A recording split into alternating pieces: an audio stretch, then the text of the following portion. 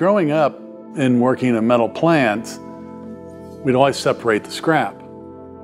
And that was probably one of the early on things that influenced me in metal. So I'd, I'd be back there and they'd say, uh, you know, as a kid, separate the, the stainless steel from the galvanized steel from the aluminum. I'm like going, well, how do you, how do you know? How do you know the difference? They all are silver. And the old guys picked them up and said, okay, feel this one. And I'd feel it and says, now feel the edge. And, and there were differences in the material from the touch. I wanted to know everything there was about the material that we were working with.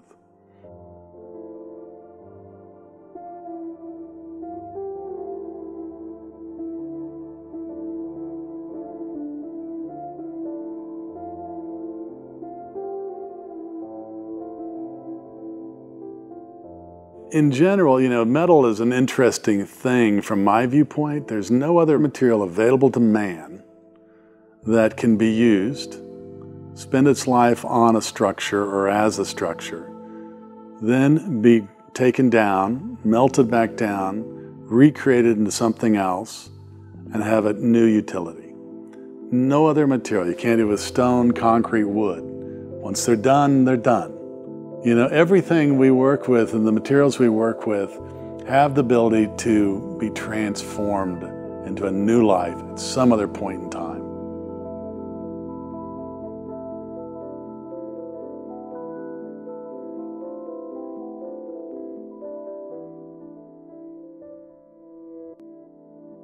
There's always been an interest in art, and art the, and the artists are thinking out in, in areas that uh, they're looking at the way light interfaces with the material. They're looking at the way the tactile nature of the material.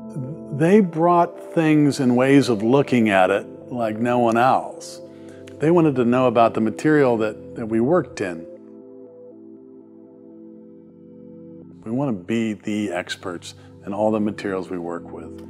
What we want to do is find out ways that we can relate to our architects, artists, to give them more ideas. But also, we had good craftsmen.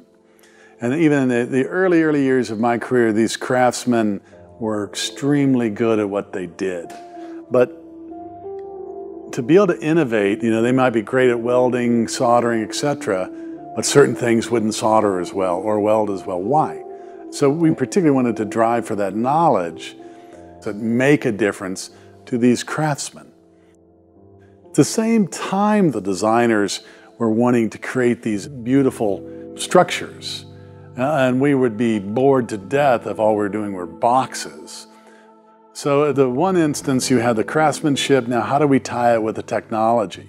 Introducing computers, we saw the ability of uh, AutoCAD and making relationships on surfaces to how things were being built. Initially, the designers used it or looked at it from the standpoint of, of conveying their drawings, making it quicker.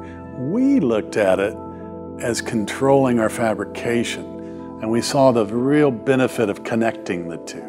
And allowed us to do some very intricate shapes and forms that weren't available to the marketplace, uh, we're sort of pushing the edges, so to speak.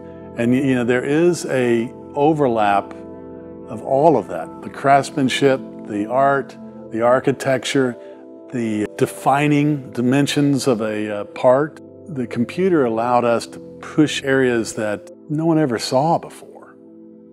You know, and then still having the craftsman to produce it, the artist to give us the ideas.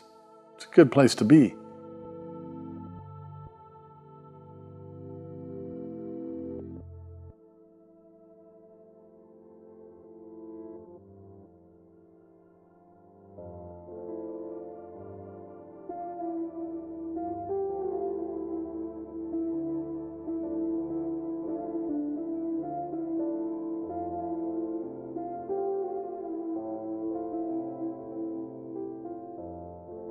You know, I, I, tell our people, you know, when you're when they're working on, on, on a series of projects, I said, would you uh, would you buy a car with a scratch in it?